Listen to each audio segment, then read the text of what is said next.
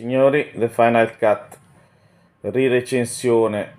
Gli avevo dato 8 più, diciamo che anche un 8.2.